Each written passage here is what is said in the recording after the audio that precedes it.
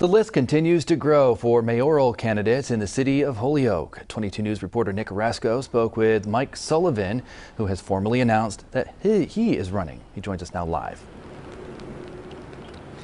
Yeah, election day is still more than five months away, but already the city of Holyoke is seeing a long list of contenders for mayor as we go into the summer months and eventually head into the month of November when elections will be taking place. Now, Michael Sullivan has officially become the third candidate for mayor, joining City Councilor Rebecca Lisi and school committee member Devin Sheehan now, Sullivan is a third term city councilor and has worked for the city for more than six years now.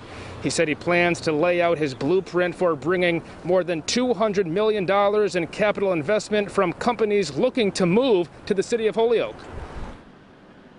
Holyoke's really got a uh, opportunity right now to capitalize on these assets and use use these assets to attract businesses and attract business and expand our tax base. I'm, I'm going to be there 24 hours a day, seven days a week, and my only focus is going to be on the needs of the people of Holyoke.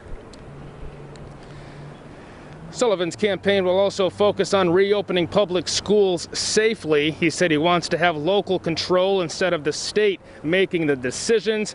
His plan also includes job creation and lowering the high tax rate. Now, Terry Murphy is currently the acting mayor. I asked him a couple weeks ago if he was running for mayor. He said no. I asked him again today, and he still uh, is not planning to run for mayor come November. We're live in Springfield this evening. Nick Oresko, 22 News.